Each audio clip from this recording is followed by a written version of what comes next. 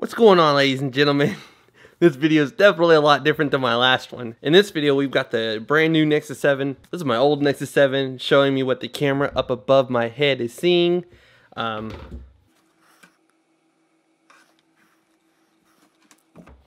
all right, so here we go. Brand new Nexus 7 2013 edition FHD right there.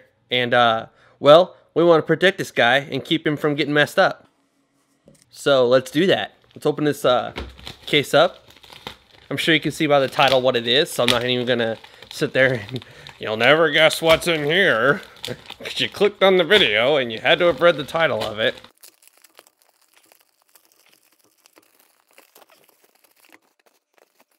A schnicker, snicky, snicker. Whatever this is. I don't know, MiniSuit. I guess it hangs on your keys or something. There you go. All right, and that's just a little product thing. This is a congratulations, you're the proud new owner of a MiniSuit accessory. Three easy steps. Your orders, available actions, write a product review. Bluetooth keyboard case, PU leather, detachable keyboard, pretty freaking awesome. So, product features, magnetic removable keyboard converts from converts from to stand. Okay full access to Google Nexus 7 controls, front and rear facing camera holes. Anyways, oh, this is interesting. The built-in lithium polymer battery capacity is 450 mAh, and it's all lowercase. It uses a micro USB to charge at 5 volts. Standby time is about 30 days. Charging time is 2.5 hours to 3 hours. There we go. Let's uh let's open it up and stop wasting time. Oh, and there's the front of it. That's what it looks like. Pretty cool.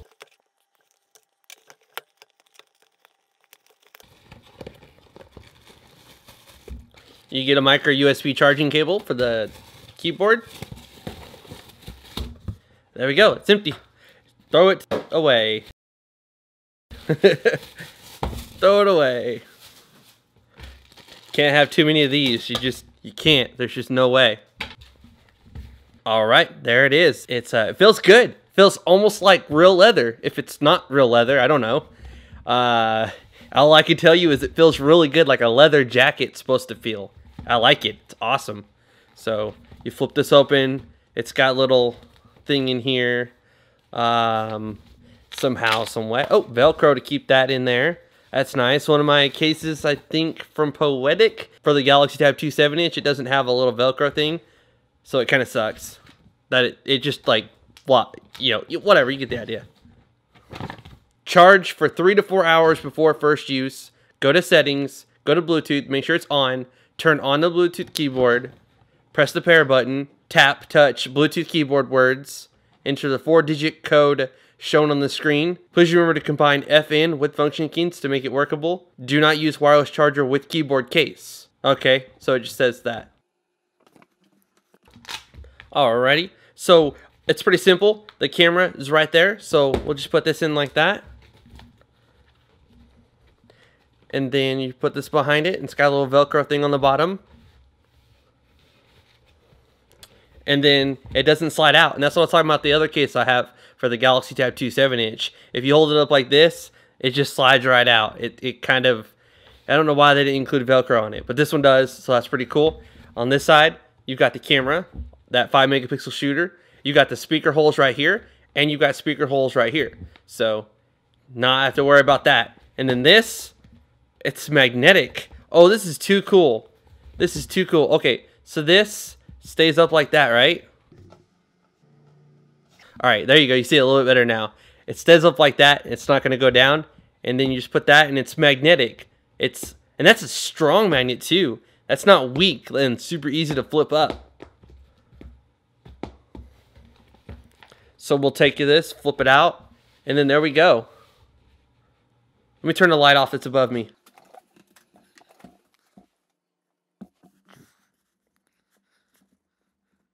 Oh, and this looks adjustable. Like right here, you can actually push it down. Or not not down, but like when you first do it, it's like that. You can actually slide it all the way back like that. So the screen looks kind of bad, but I can fix that. Just lower the ISO down to like 500. There we go. Screen looks a little better, but the keyboard's dark. we'll have to live with that. So there you go. There's the keyboard. There's that. So turning it on, little switches right here. It's got a little pair button right here. Just hold that down. It's flashing. I'll go to the settings, go to Bluetooth, turn it on. And then it's going to find this keyboard here in a second. There it is.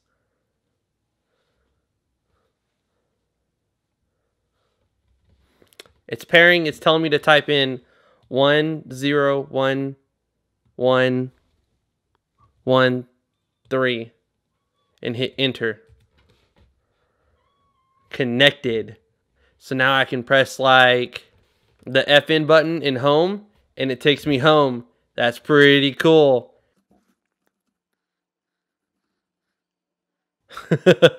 These keys are really, really small. But let's try something out.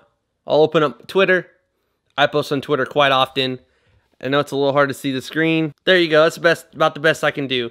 So this, I guess that just kind of sits there. You can tuck it up underneath it. And then it raises that a little bit. But whatever. So we'll go here. We'll compose a new tweet. I'll links to follow me on Twitter and Facebook, Google Plus, Vine, Instagram. Everything will be in the description below. So, and Fender Zach. Fender underscore Zach is in my SwiftKey. So Josh and the dog were crossing. The backspace key is really, really small. Crossing the road when he saw a monkey come out of nowhere.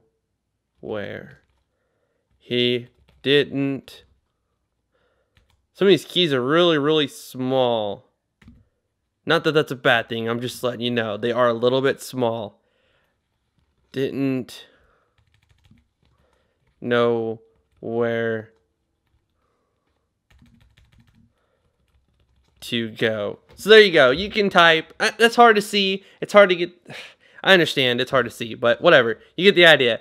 Typing is actually pretty comfortable. I mean, as far as the letters go. And so what if you hit like Control A it highlights everything on the screen and then I can backspace. So what if I do like Josh and the dog were at the park? Then I do control A and then control C. No, wait, I hit FN, sorry.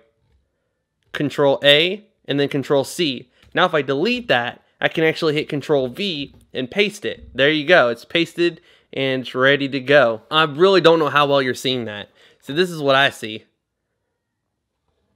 It it's yeah, hopefully you can make that out. But yeah, that's the gist of it. And then to turn it off, you just turn it off. It's that simple. And turn it back on.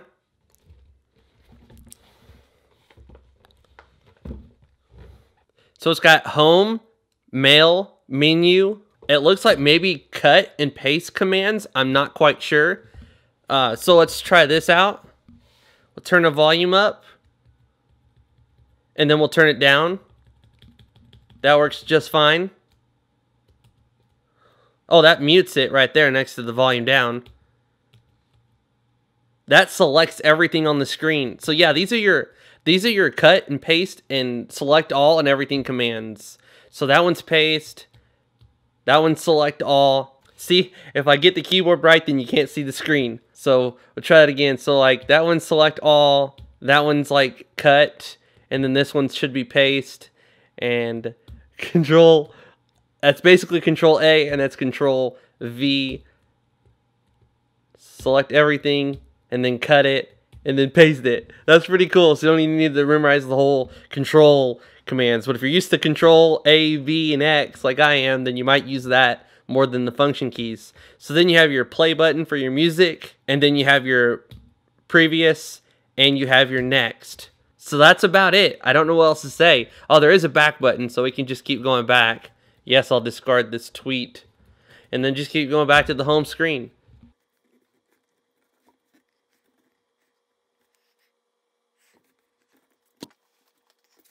So there you have it, folks. That wraps up the video. This was the MiniSuit Bluetooth keyboard for the brand new Google Nexus 7 FHD 2013 edition. So we'll just close it up here. Let that fold down and then tuck this in. And you don't have to worry about it going anywhere or coming out. It's pretty cool. I like it. And there's the cutout for the sensor in the front camera. Volume up and down, and the power button. Links to this case will be in the description below if you want to check it out and consider purchasing it. If you enjoyed this video, please make sure you hit that like button right next to the subscribe button and hopefully you press that as well if you're new to my channel and if you are already subscribed, thank you very much. I'll eventually create an Nexus 7 playlist with all of my videos in one link like I did for the HTC One, the S4, and so many other devices, including my NVIDIA Shield, which for you people, I'm sorry I've only done one video so far. More videos on the NVIDIA Shield to come very soon. I just got three years of SquareTrade accidental drop protection warranty on it, so now I can unlock it, root it, and everything. And my warranty with NVIDIA might be gone, but it's not gone with SquareTrade, so... More videos on this coming very soon. I'm also going to unlock and root this thing first thing tomorrow. It takes several hours to record this with my camera like I'm recording now and then to record my screen and combine the camera audio, the Zoom H2N audio, and the audio coming from my computer's microphone and just combine all that into one video like my Nexus 7 root video, like my S4, easiest way to root the S4 video, like my S3 root video, uh, all those videos uh, give you an idea of what my Nexus 7 FHD 2013 root video is going to look like. I'm going to stop talking. Again, links to follow me on Instagram, Vine, Twitter, Facebook, Google+, Plus, everything will be at the bottom of the description below. Just click where it says click here to show more and it'll expand the description and show you everything. This is What Would Josh Do and I'm out.